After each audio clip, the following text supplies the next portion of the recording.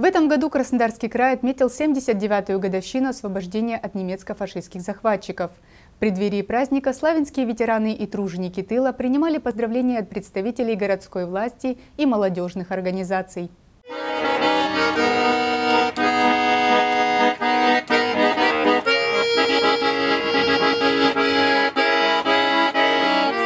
В Краснодарском крае на протяжении уже нескольких лет проводится социально-патриотическая акция «Согреем сердца ветеранов». Волонтеры, представители молодежных общественных организаций поздравляют ветеранов Великой Отечественной войны и тружеников тыла со всеми памятными датами. Нуждающимся оказывают помощь по дому. В этот раз поводом для визита стала 79-я годовщина освобождения Краснодарского края от немецко-фашистских захватчиков. Мария мы вас поздравляем. Желаем вам крепкого здоровья. Всего самого лучшего, доброго. Спасибо вам за Спасибо.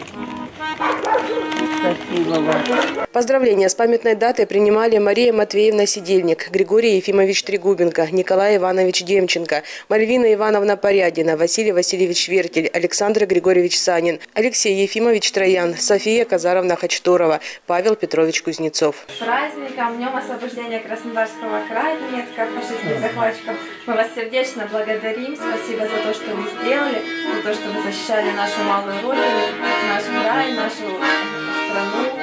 Ну, спасибо. Спасибо. Здоровья, Желаю вам здоровья, счастья, благополучия, успехов во всем. Спасибо, Спасибо вам. что вспомнили, нашли время подойти.